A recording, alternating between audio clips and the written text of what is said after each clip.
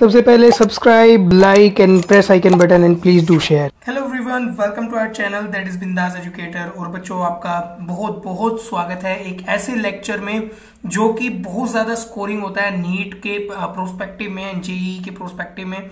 जी हाँ हम बात कर रहे हैं रियोप्टिक्स की। फिजिक्स का एक ऐसा टॉपिक जो बहुत ही ज़्यादा कंसेप्चुअल है, बहुत ही ज़्यादा इंपॉर्टेंट है। और ये टॉपिक जो है, इसके साथ डील करने के लिए आपको बहुत ज़्यादा प्रेजेंस ऑफ़ माइंड चाहिए होती है। ठीक है, कई बार ये चैप्टर जो होता है, हमें बहुत ज़्यादा डिफ़िकल्ट लगने लगता है। ठीक है, वैसे तो ये चैप्टर हम ट्वेल्थ के लेवल का डील करेंगे, लेकिन टेंथ स्टैंडर्ड के स्टूडेंट्स भी इस चैप्टर को पढ़ सकते हैं यहाँ से। बहुत सारे, उनकी पूरी एनसीआरटी क्लियर होने वाली है। और जितने भी कॉम्पिटेटिव एग्ज़ाम्स के लेवल के जो क्वेश्चन है, आप ऑलरेडी अगर थर्मोमीट्री पढ़ के आ रहे हैं JEE and NEET physics lecture series में तो बहुत अच्छी बात है। उसी टॉपिक के जैसे हम ये टॉपिक भी रेओप्टिक्स भी ऐसे पैरल उसको जोड़ने जा रहे हैं। ठीक है? तो चलिए स्टार्ट करते हैं रेओप्टिक्स के बारे में। रेओप्टिक्स एक्चुअल में ये जो साइंस है, वो रे की साइंस है लाइट की साइंस है। इसीलिए टेंथ क्लास में इस रेओप्टिक्स चैप्टर का जो नाम है, वो एज अ लाइट चैप्टर भी गिवन है। वहाँ पे एज सच रेओप्टिक्स आपको नाम जो है, वो मेंशन नहीं किया है। वहाँ पर सिर्फ़ लाइट मेंशन किया है और वही सारी चीज़ें हम डिस्कस करने वाले हैं। रे ऑप्टिक्स में सबसे पहले हम क्या पढ़ेंगे? सबसे पहले हम पढ़ेंगे रिफ्लेक्शन फ्रॉम प्लेन सरफेस पहले हम वैसे तो बेसिकली इस आज वाले लेक्चर में जो इंट्रोडक्शन पार्ट है, थोड़ा सा इसमें हम लाइट का जो रे ऑप्टिक्स वाला जो पार्ट है, उसके थोड़े से बेसिक्स डिस्कस करेंगे। उसके बाद हमारे जो मेन हेडिंग्स आने वाले हैं, वो मेन हेडिंग्स आने वाले reflection from plane surface that is हम प्लेन मिरर के बारे में बात करेंगे। प्लेन मिरर का जो रिफ्लेक्शन होता है, उसके सारे कंसेप्ट और उस पर बेस्ड जो क्वेश्चन होंगे, वो किस टाइप के क्वेश्चन पूछे जाएँगे, वो डिस्कस करेंगे। Then we will discuss reflection from spherical surface फिर हम स्पेरिकल मिरर लेंगे और उनके थ्रू जो रिफ्लेक्शन होने वाला है, उसकी बात करेंगे। Then we will discuss refraction this is refraction refraction refraction is bending of light that is refraction from plane surface plane surface में जो लाइट की बेंडिंग होगी, जैसे कि स्लैब हुआ और प्रिज्म हुआ हमारा तो ये जो चीज़ें हम इसमें डिस्कस करने वाले हैं ऑल दो रिफ्लेक्शन फ्रॉम स्पेरिकल सरफेस फिर हम स्पेरिकल सरफेसेस में अपने रिफ्रैक्शन जो है उसको डिस्कस करेंगे। ठीक है रिफ्लेक्शन फ्रॉम प्लेन सरफेस में वाटर वगैरह में जब एक मीडियम से दूसरे मीडियम में लाइट जाती है तो बेंडिंग होती है, वो सारी चीज़ें डिस्कस करने वाले हैं। Then we will discuss about lens हम लेंस के बारे में डिस्कस करेंगे टाइप्स ऑफ़ लेंस और उन लेंस के ऊपर जो एप्लीकेशन बेस्ड होती है, कहाँ यूज़ करते हैं, कौन से लेंस का क्या फ़ंक्शन होता है, उसके ऊपर क्वेश्चन बेस्ड क्या आते हैं नीट और जेई में वो सारी चीज़ें डिस्कस करेंगे। Then will discuss prism prism separately भी डिस्कस करने वाले हैं। प्रिज्म एक बहुत अच्छा टॉपिक है। उसके ऊपर भी क्वेश्चन जो है डायरेक्टली पूछे जाते हैं। प्रिज्म भी हम डिस्कस करने वाले हैं। Defects of human eye human eye के जो डिफेक्ट होते हैं myopia hypermetropia and all that इनके ऊपर जो क्वेश्चन बेस्ड होंगे। ठीक है, वो सारी चीज़ें हम डिस्कस करने वाले हैं then we will discuss optical instrument जैसे कि टेलीस्कोप माइक्रोस्कोप एंड ऑल ये सारी चीज़ें हम ऑप्टिकल इंस्ट्रूमेंट में डिस्कस करेंगे तो चलिए, आज के लेक्चर में जो हमारा मेन मेन एम है, वो है आज के लेक्चर में बेसिक्स क्लियर करने का so let's start with some basic concept some basic concept we are starting with So the first one is ray. What is ray? Ray is a straight line path followed by light in a homogeneous mixture. देखिए as such light जो होती है वो dual property show करती है ray nature and particle nature भी show करती है जो कि more or less modern physics का पार्ट है जो हम फिजिक्स uh, की जो अलग से टॉपिक स्टार्ट करेंगे मॉडर्न फिजिक्स वो भी बहुत ज़्यादा स्कोरिंग है उसमें हम वो सारी चीज़ें डिस्कस करेंगे ठीक है?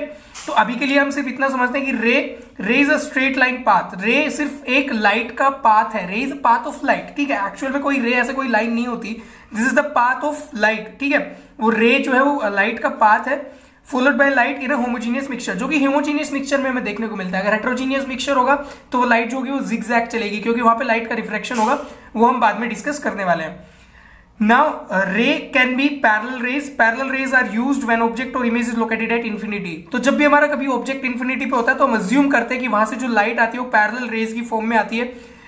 ठीक है? पैरेलल रेज की फॉर्म में आना मतलब हर एक रे के बीच में इक्वल डिस्टेंस है पैरेलल रेज आ रही है। That means the object is very far away और the image is very far away उसके लिए हम पैरेलल रेज का यूज़ करते हैं। Diverging rays diverging rays means light uh, the rays are originating from one point and diverging in different different direction. These are called as diverging rays. तो diverging rays ऐसे भी दिखने में हो सकती है ऐसी भी हो सकती है।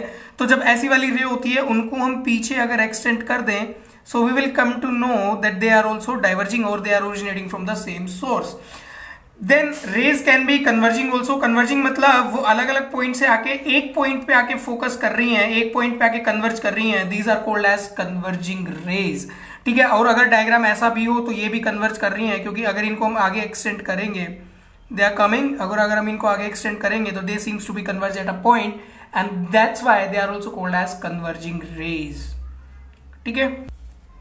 Now the second point is what is object हमने रे के बारे में पढ़ा, ray is a path of light now we are studying about object की ऑब्जेक्ट क्या होता है? Object is form by intersection of incident rays जब भी जब भी intersection of incident rays incident rays मतलब जब भी हमारी जो इंसिडेंट रेज होती है, ये इंसिडेंट रेज मान लो कहीं से ओरिजिनेट होती है इंसिडेंट रेज आर ओरिजिनेटेड तो मान लीजिए, ये इंसिडेंट रेज है जो ओरिजिनेटेड होती है और इन इंसिडेंट रेज के इंटरसेक्शन से जो बनता है वो होता है हमारा ऑब्जेक्ट और इसका मतलब हम ये बोलना चाहते हैं कि ऑब्जेक्ट वो होता है जहाँ से लाइट रेज ओरिजिनेट होती है। सिंपल शब्दों में हमारा ऑब्जेक्ट वो होता है जहाँ से इंसिडेंट रेज ओरिजिनेट होती हैं। If object is real incident rays are diverging for example अगर मैंने देखिए डाइवर्जिंग रेज बनाई है तो ये इंसिडेंट रेज यहाँ ऑब्जेक्ट से अगर ओरिजिनेट हुई डाइवर्जिंग है that mean this object is real this object is real लेकिन अगर इंसिडेंट रेज जो है, अगर वो डाइवर्जिंग अगर इंसिडेंट रेज जो है, वो कन्वर्जिंग होती है फॉर एग्ज़ाम्पल लाइक कुछ ऐसा कन्वर्जिंग रेस ठीक है? तो ये लाइट जहाँ से आ रही है, वो ऑब्जेक्ट जो है, वो ऑब्जेक्ट जो है, हमारा कैसा होगा? This that will be a virtual object वो हमारा जो ऑब्जेक्ट है, वो वर्चुअल होने वाला है. Now we will discuss about image image क्या होती है? Image is form by intersection of light rays after interaction of optical rays देखिए, अगर रेज जो है, मान लीजिए, अगर हम मिरर की बात करें तो इंसिडेंट रेज जब जाती हैं मिरर पे टकरा के अगर कहीं पे then they will rejoin after reflection और आफ्टर रिफ्लेक्शन जब लाइट रेज जो है, वो मर्ज करती हैं then they are they form image ठीक है? तो वो इमेज होती है after interaction of optical rays यानी कि ऑप्टिकल रेज जब इंट्रैक्ट करती है तो वो इमेज फॉर्म करती हैं। Image is real if after interaction light rays are converging अगर मान लीजिए हमारे पास ये कोई प्लेन मिरर है this is the plane mirror और अगर लाइट रेज जो आई इंसिडेंट रेज मान लीजिए ये इंसिडेंट रेज आ रही हैं and then they are converging then they are converging after reflection और कन्वर्ट होके कन्वर्ज होके अगर आफ्टर रिफ्लेक्शन अगर वो इंटरेक्शन के बाद जो मीट करती हैं ठीक है they are converging see they are converging they are converging और कन्वर्ज करके अगर मीट करती है then the image is real तो इमेज हमारी होती है रियल लेकिन अगर अगर मान लीजिए कोई ये स्फेरिकल मिरर था this was the spherical mirror और लाइट रेज आ रही हैं this light rays are coming that means incident rays और रिफ्लेक्ट हो जाती हैं, वो रिफ्लेक्ट होकर डाइवर्ज करती हैं रिफ्लेक्ट होकर डाइवर्ज होती हैं, ठीक है रिफ्लेक्ट होकर डाइवर्ज होती हैं। तो अगर रिफ्लेक्ट के बाद रेज डाइवर्जिंग है तो इनसे जो इमेज बनेगी that image will be our virtual image आगे जाके आपको अच्छे से समझ में आने वाला है थोड़ी देर बाद जब हम डिस्कस करेंगे तो आपको बहुत ज़्यादा क्लियर हो जाएगा that what is real object what is imaginary object और virtual object what is real image and what is virtual image okay तो ये सारी चीज़ें आपको आने वाले सेक्शन uh, में क्लियर हो जाएँगी। अभी के लिए हम just giving you the basics कि रे ऑप्टिक्स में जो टर्म्स आने वाली है what what does they mean ठीक है? चलिए। Now the fourth point is inverted और इरेक्ट इमेज इन्वर्टेड या इरेक्ट इमेज कौन सी होती है? ठीक है? तो अगर मान लीजिए हमारा ऑब्जेक्ट अपराइट है और उसकी इमेज भी अपराइट बनती है that means the object is upright and image is also upright then that is called as erect image तो अगर ये ओरिएंटेशन ऐसे हॉरिजॉन्टल वाला ओरिएंटेशन है ऑब्जेक्ट हमारा ऐसे है और इमेज भी हमारी ऐसी बनती है सेम ओरिएंटेशन में then that image is called as erect image लेकिन अगर हमारा ऑब्जेक्ट जो था वो अपराइट था और इमेज जो है डाउनवर्ड्स बनती है that means opposite orientation then that image is called as inverted और सिमिलरली अगर हॉरिजॉन्टल में देखेंगे। तो अगर ऑब्जेक्ट ऐसे है और इमेज ऑपोजिट बनती है so that image is also inverted so erect का मतलब क्या हुआ? सेम ओरिएंटेशन और इन्वर्टेड का मतलब हुआ ऑपोजिट ओरिएंटेशन ठीक है? That is what mean by inverted and erect image Now the next term is magnification What is magnification magnification is the ratio of size of image by the size of object यानी कि हमारा जो image का size होगा और जो object का size होगा, उसका ratio that is called as magnification और अगर मैग्निफिकेशन की वैल्यू पॉजिटिव आती है that means the object is object is erect sorry that means the image is erect and if magnification is negative then image is inverted और ये सारा sign convention के ऊपर बेस्ड है तो अभी आने वाली क्लासेस में नेक्स्ट कमिंग क्लासेस में we will also discuss the sign convention they you will understand in a better way that what is the meaning of this erect and what is the meaning of inverted and how the magnification is positive how it is negative ठीक है तो sign convention positive negative magnification कैसे आएगा that also you learn in later lectures now one more concept we have to deal here is laws of reflection laws of reflection के basis में एक बार थोड़ा सा देख लेते हैं। सिर्फ़ दो हमारे पास दो हमारे पास पॉइंट है।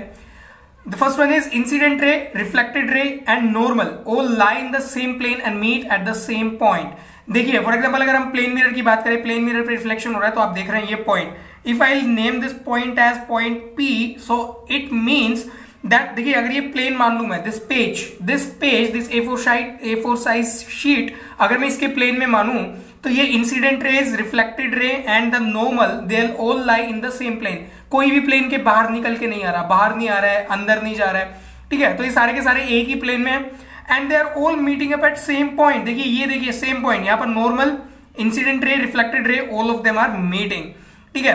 अब देखिए अगर हम स्फेरिकल मिरर की बात करें स्फेरिकल मिरर की बात करेंगे तो देखिए, ये हमारा जो प्रिंसिपल एक्सिस है this is our principal axis और अगर हम इसको पी यानी कि पोल मान लेते हैं दिस इज़ पी ठीक है? तो ये हमारा जो है प्रिंसिपल एक्सिस जो है, हम इसको कंसिडर कर सकते हैं that this is normal at this point principal axis this is normal at this point और इस नॉर्मल के साथ, मान लीजिए, ये इंसिडेंट रे आ रही है with an angle of incidence i and reflect हो रही है विद सेम एंगल आई क्योंकि एंगल ऑफ़ रिफ्लेक्शन और angle of incidence is same ठीक है? वो भी हम आगे पढ़ने वाले हैं। ठीक है? तो देखिए, ये नॉर्मल है और normal and this incident and reflected ray they all line same plane now comes to the second point. Now we come to the second point. Second point is saying that angle of incidence is equal to angle of reflection. Angle of incidence क्या होता है? ध्यान से समझिएगा। जो incident ray जो होती है, यानी कि आने वाली this is are incident ray which is coming ठीक है? इंसिडेंट रे जो आई, वो आके उसने स्ट्राइक किया और स्ट्राइक करने के बाद रिफ्लेक्ट होती है। ठीक है? और ये हमने जो नॉर्मल बनाया इसी पॉइंट पर। तो होता क्या है बच्चों?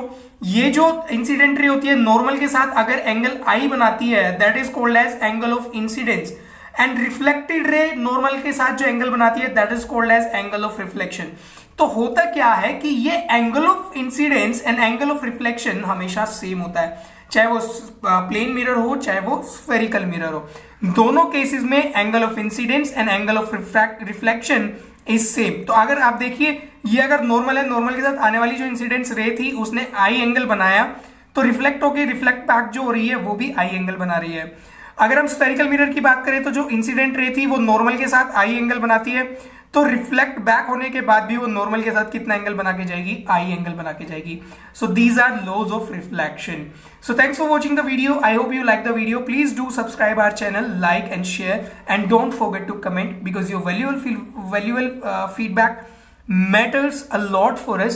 So thank you for watching and keep watching the next lectures in a series. I hope that you will be able to get 100% of it and no questions will be out of it. I'm telling you this is our promise. Thank you. Thanks a lot